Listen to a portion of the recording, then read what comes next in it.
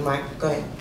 Uh, One question I do want to elevate, uh, given the fact I had the liberty to speak with many of the uh, presenters, uh, to Chancee, one of the points uh, that I think you had elevated in terms of your narrative was the fact that you were doing assessments on transit projects or transit-oriented development before transit-oriented development became fashionable. So can you speak a little bit to that? And before you do, again, my compliments because of the fact that you were doing this as a college student basically doing assessments without any type of roadmap. So the work can be done.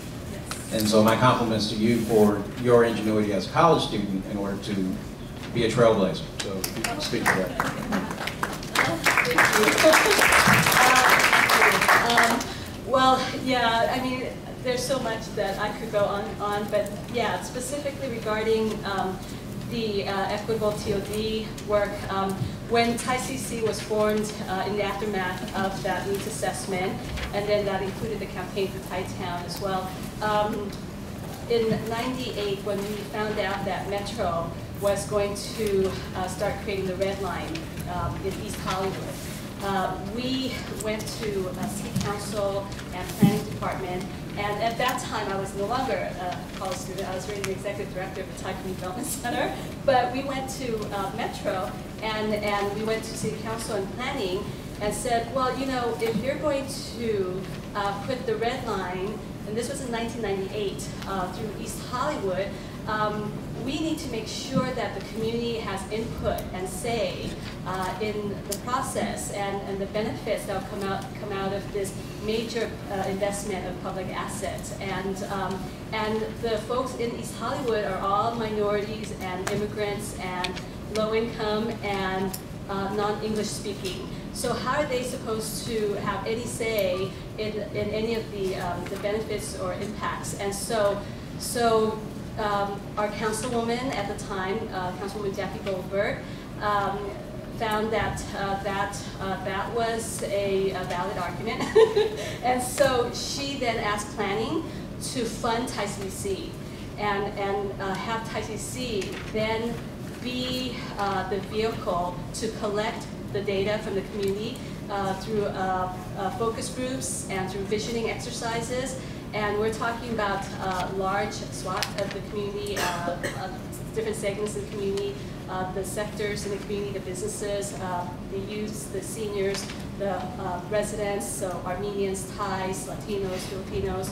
So we did it all, you know, in, in various ethnic communities, and we collect that all that data, um, qualitative, quantitative, and and then we presented the vision, and that became the 20-year vision that was adopted by planning, city planning, that became the specific plan called the Station Neighborhood Area Plan.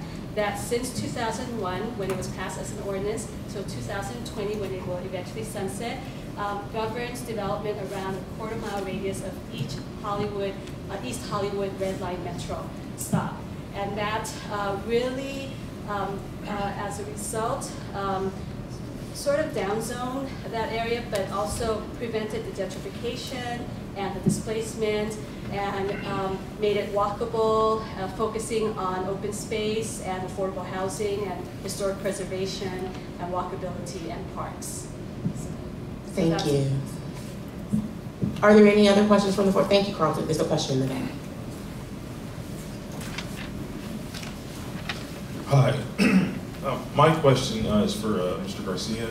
Um, I was uh, wondering if there, um, if you have any examples of where a community that has been challenging a federal recipient um, regarding a disparate impact case has been able to successfully rebut a substantial legitimate justification uh, for that discriminatory or that disparate impact. I'm sorry, your question was whether if we're arguing disparate impact or intentional discrimination, well, uh, the target successfully argue we're wrong, or are you saying have we won? Uh, well, has, do you know of any examples where a substantial legitimate justification has been successfully rebutted? Yeah, um, that's cases what we won. And this is what I've done since 1994. Um, in the MTA case in Los Angeles, a Labor Community Strategy Center versus um, Los Angeles County Metropolitan Transportation Authority. It's the largest civil rights settlement ever, $2 billion. MTA agreed to invest to keep the bus system, to improve the bus system countywide and to keep bus fares low. That was a Title VI case. We showed numerical disparities. Um, working poor with limited or no access to a car didn't get um, equal bus service, first of all. Second, um, no substantial justification. Third, less discriminatory alternatives uh, and spending on buses versus trains. Judge Hatter entered a preliminary injunction finding um, there were discriminatory impacts and enough evidence to go to trial on intent. And we settled for $2 billion, first of all. Second, um, Los Angeles State Historic Park at the Cornfield. In 2001, that was, a, I started the city project in 2000 because the work needed to be done and nobody else was willing to do it. City of Los Angeles and a wealthy developer wanted to put warehouses up on the last vast open space in downtown LA. Um, we wrote to Andrew Cuomo, who was Secretary of HUD, uh, and said there has not been proper environmental review under Title VI and 12898. There has to be.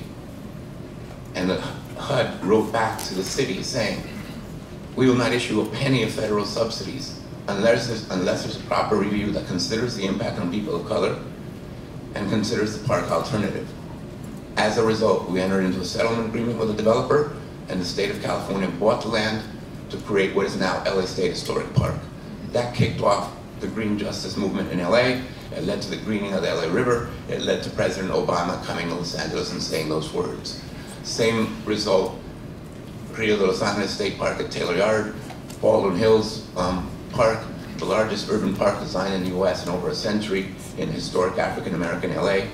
Today, you have the US Army Corps of Engineers of all people doing a best practice analysis under 12898, finding, first of all, there are disparities in access to parks based on race, color, national origin. Second, there are health disparities based on those factors. And third, environmental justice laws and principles require federal agencies to alleviate those concerns. That's without litigation. That's the planning process. National Park Service, same thing for their study of the San Gabriel Mountains and the Santa Monica Mountains Conservancy. That's why we've shifted from litigation in MTA to working the planning process with the federal agencies. Thank you, Robert. Any other questions from the floor? Right here? Thank you. I'm struck by each of your individual stories and the extent to which a personal dedication over years and years and years of work have enabled you to make first incremental change and then more substantial changes. Uh, I'm an elected official, so in spite of the comment from somebody about how mayors don't listen, you know, to anybody, you, you the reality is that elected officials, in my experience, come and go. And unless advocates are there over time that transcends those times in office for elected officials, then the continuity is easily lost. And so I wondered if any of you would want to comment on the arc of uh, experience and influence over time in your in your uh, careers or your involvement. As you respond, please do so in less than a minute. so um, I think that's why I made sure that we had the tri-party agreement because in my experience with prior, working with prior administrations, if it wasn't written down, it didn't happen, right? So we had the uh, tri-party agreement between the community, the city, and the state ports authority. And we're still going on that process. Uh, I can't tell you a number of times when the city and or the state ports authority tried to um, renege on certain aspects of the plan, but it wasn't writing. And, and quite frankly, some of the requirements under the plan, the city um, only uh, implemented under pressure from the community. Well, that's why we're engaged in institution building, because institution building, um, of course, what means that that um, it will last. you know, there'll be something left behind uh, after you know, elected officials come and go after, uh, you know, I leave the organization, etc. So um, we, we really need to invest in sustain, sustainability of institutions, and I think that, that helps for continuity.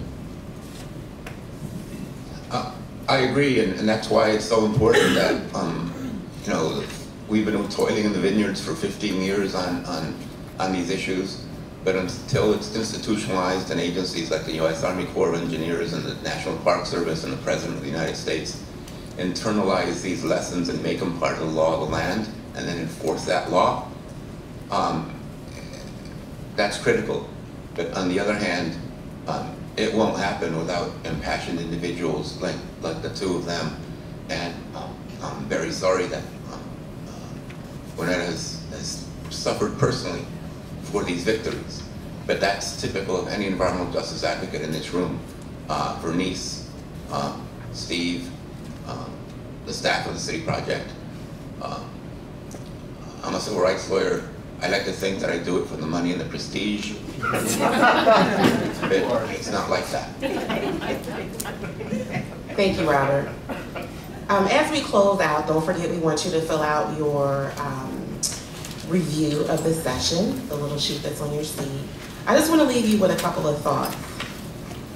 Typically, we spend our life as practitioners assessing air quality effects, noise effects, visual effects, and the effects of relocation. These are different discipline areas.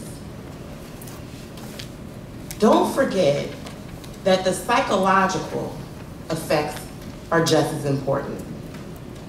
We may call it community cohesion. We may call it social equity. But the direct, cumulative, and indirect effects of the projects that we pursue leave a lasting legacy. What will your legacy be today? We have two books from APA that we want to give away. Um, Fair and Healthy Land Use, Environmental Justice and Planning. I'd like to give one to our last question that was requested by our elected official. I hope it doesn't go against your ethics policies. I'll dedicate it to the city after I. And the first to the first person who asked the question, which was free.